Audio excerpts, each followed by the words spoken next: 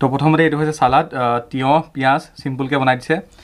তাৰপিছত এইফালে হৈছে এইটো মই বহুত ভাল পাওঁ খাই পেলাই। বেছিকৈ যদি মই কেতিয়াবা ভোকত থাকোঁ ভোকত থাকি পেলাই যদি মোক এনেকৈ বনালে বহুত ভাল লাগে মাছৰ বিশেষকৈ মাছৰ জোল বনাই দিয়ে। তো এইটো হৈছে আদা পাত দেখিছেনে? এইবিলাক আদা পাত দিয়া আছে আদা পাত আলু আৰু সৰু যে এইটো দনিকণা মাছটো যে দনিকণা মাছটো দি বনাইছে। তাৰপিছত এইটো হৈছে ভোল আৰু এতিয়া যিহেতু ভোলৰ ছিজন হয় ভোল আৰু সৰু মাছ এইফালে জিকা আৰু মাছ দি পেলাই বনাইছে।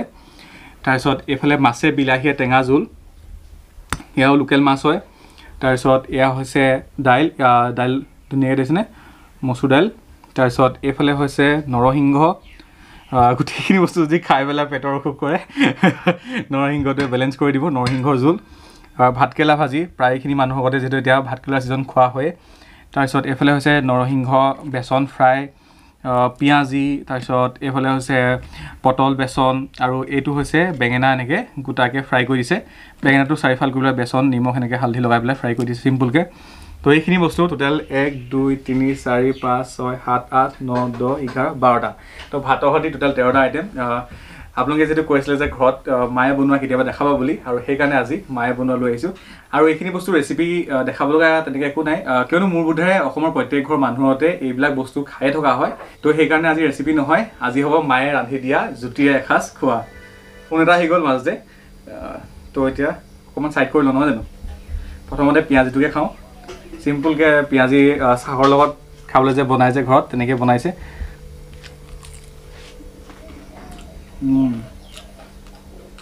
ধুনীয়া হৈছে এইটো আমি আচলতে চাহ খাওঁতে বনাইছিলে। তেতিয়া এটা থৈ দিয়া আছিলে তাৰে।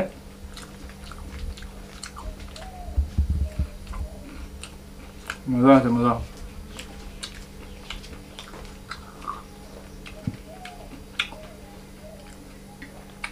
পটল ফ্ৰাই।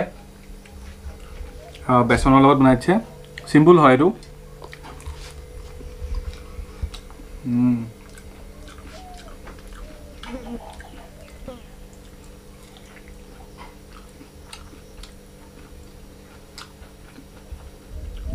বেঙেনা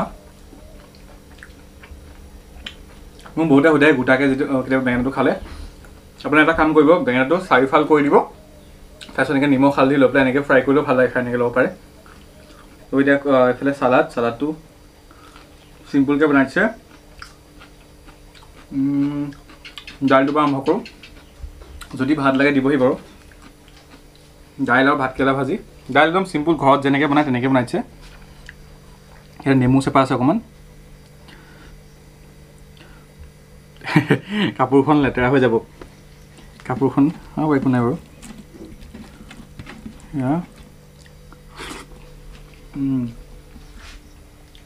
ধুনীয়া চিম্পুলকৈ বনাই দিছে আৰু ভাতকেৰেলা ভাজিটো আমাৰ প্ৰায় খোৱাই হয় মানে ৰাতিপুৱা ৰুটি খাওঁতে শুকান ৰুটিৰ লগত ভাতকেৰেলা ভাজি খাইটো ভাল লাগে তো সেইকাৰণে বনায়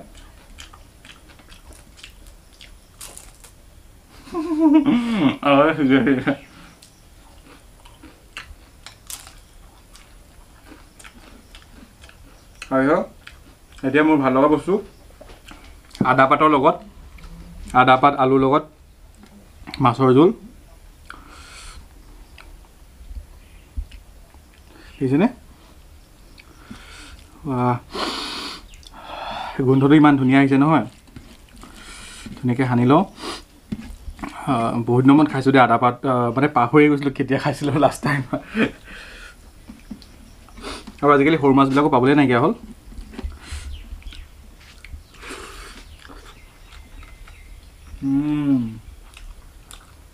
আল্টিমেট লাগিছে।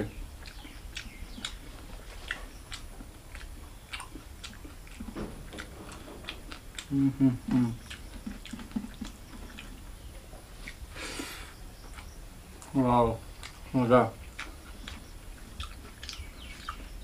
আপোনালোকে যদি কোনোবাই আদা পাত আলু এনেকৈ সৰু মাছ দি পেলাই খোৱা নাই তেতিয়াহ'লে খাই চাব। এইটো ৰেচিপি বহুত লাগে খাই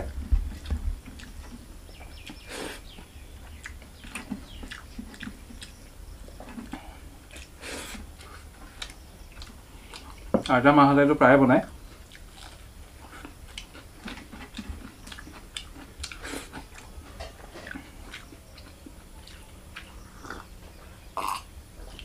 তাৰ এতিয়া খাম। সেইটো। এয়া হৈছে ভোলৰ লগত সৰু মাছ। ভুলটো বাৰু গোন্ধ এটা আছে এয়া।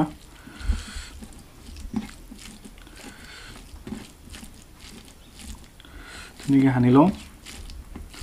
নহয় জানো? তেতিয়া ভাল লাগিব ভাতটা খাই। আৰু সৰু মাছৰ কাঁইটবিলাকতো চুবাই দিব পাৰি। ইমান একো হেৰি নাই। সেইকাৰণে উম। সেইটো ধুনীয়া দিছে আৰু এই ৰেচিপিত এটাতো মছলা দিয়া নাই কেৱল আদা নহৰু পিঁয়াজ পাঁচফোৰণ দাইলত এনেকৈ দিয়ে বনাইছে।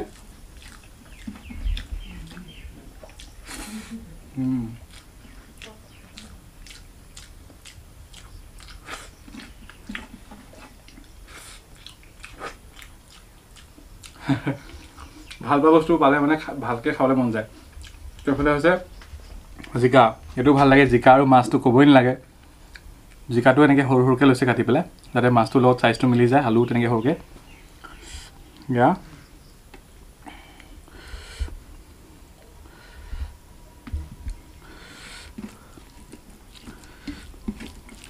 সানি লওঁ ধুনীয়াকৈ আৰু অলপ বনাম বুলি কৈছিলে কিন্তু মইহে নালাগে বুলি ক'লোঁ। গৰমো বহুত সেইকাৰণে মাক দিগদাৰ দিয়া নাই।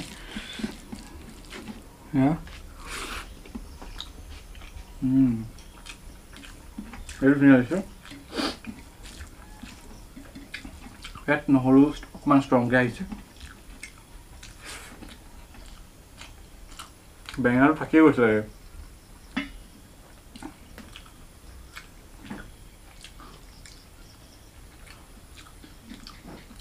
মজা।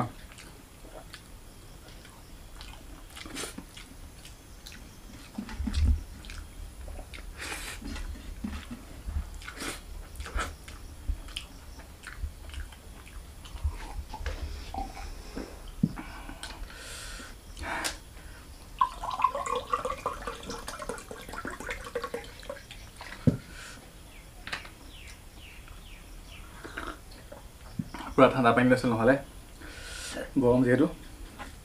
ভাত কিমান লৈ লওঁ ন? তাৰপিছত তো কেইটামান ভাত লৈ ল'লোঁ। এতিয়া যোনটো মাছ আছে মাছৰ জোলটো খাম। এইটো বিলাহী আৰু মাছে। ঘৰত যেনেকৈ বনাই একদম তেনেকৈ। অকণমান প্ৰথমতে জোলটো লওঁ। এয়া জোল। আৰু এতিয়া জোলটো দিছোঁ ন?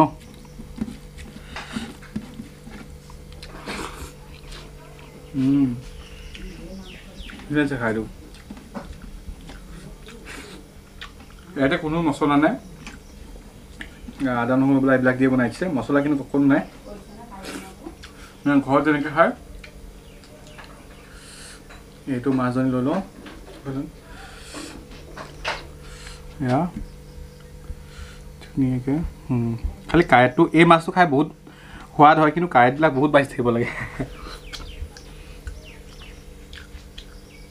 ইয়াতে থ'ম নহ'লে জেগা নাই? কাঁইট থকা মাছবিলাকৰ বোলে সোৱাদটো অলপ বেছি।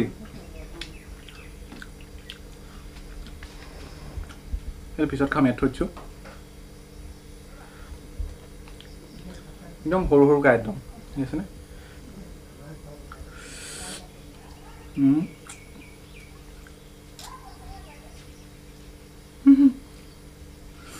দুখন হাত লগাব লগা হয়। আপোনালোকৰ দুখন হাত লগা নাই বাৰু খাওঁতে।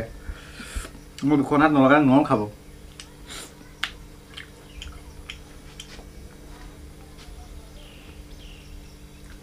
মাছটো পূৰা সোৱাদ আছে।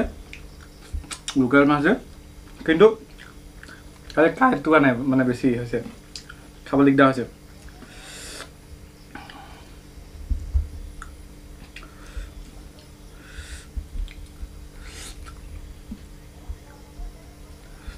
এতিয়া নৰসিংহ।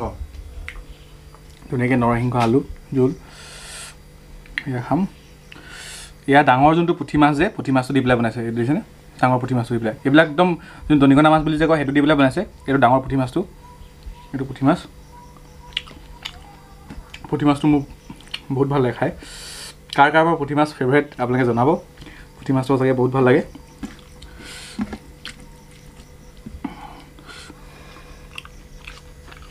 বিশেষকৈ পুঠি মাছৰ যোনটো যে এই সৰু সৰু যে সেই মূৰকেইটা যে খাই বহুত ভাল লাগে। দেখিছেনে কিমান অকণি অকণি টিকলা টিকলা।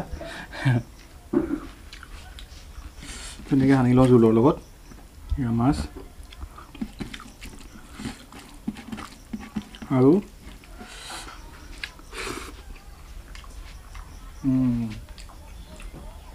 মজা দিছে খাই এইটো।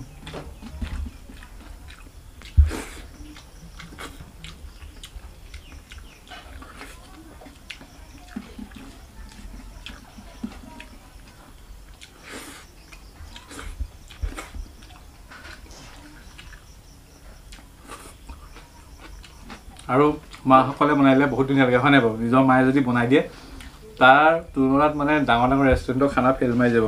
নহয় জানো? আৰু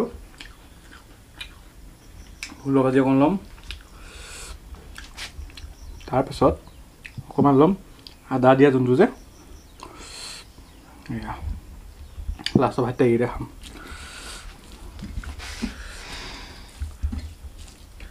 দুইটা মানে পূৰা ফেভৰেট মোৰ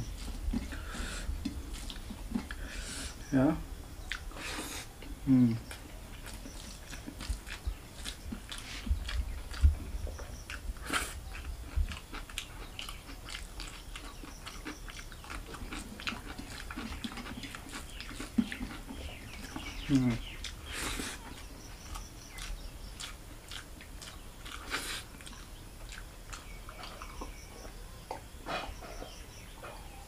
তো আজি ভিডিঅ'টো ইমানে আছিলে যদি আপুনি চাই ভাল পালে লাইক আৰু শ্বেয়াৰ কৰিব। সেইবিলাকতো ঘৰত ৰেচিপি দিয়াৰ প্ৰয়োজন নাই চাগে কাৰণ প্ৰত্যেক ঘৰ মানুহতে এইবিলাক বস্তুটো খোৱাই হয়। তো সেইকাৰণে ৰেচিপি নিদিলোঁ আৰু ভাত সাজ বহুত ধুনীয়া লাগে আৰু আপোনালোকে যদি ভিডিঅ' চাই ভাল পালে লাইক আৰু শ্বেয়াৰ কৰিব বুলি আশা কৰিলোঁ। আৰু ইয়াৰ উপৰি আপোনালোকে ইয়াৰ ভিতৰত কোনটো বস্তু খাই বেছিকৈ ভাল পায় কমেণ্ট কৰিবলৈ নাপাহৰিব। সদায় কৰোঁতে নিজৰ ওপৰত বিশ্বাস ৰাখিব ভগৱান নামলৈ কাম কৰি যাব এদিন নহয় এদিন সফল হ'বই আৰু সদায় হাঁহি থাকিবলৈ চেষ্টা কৰিব।